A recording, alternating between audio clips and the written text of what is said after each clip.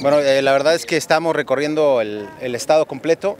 Vamos a tener la beca de madre soltera, de adulto mayor, e invitarlos a aprovechar los medios de comunicación ustedes, que, que, nos ayuden a que inviten a todas las mamás solteras a que se anoten al programa. La verdad es que todavía tenemos muchas becas más, son 200 millones los que vamos a erogar este año. El otro año vamos por 400 millones, vamos a estar subiendo 200 millones por año.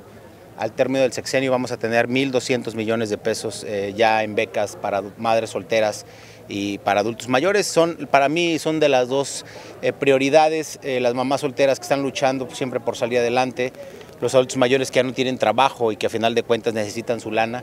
Y bueno, pues es dinero en efectivo, son tarjetas bancarias las que se les va a entregar, en cualquier cajero lo pueden usar, en cualquier pago de cualquier centro comercial, pues van a disponer de su dinero. Eh, este año son cinco entregas las que van a recibir. El otro año, bueno, pues subirán más las entregas, pero también subirá el padrón.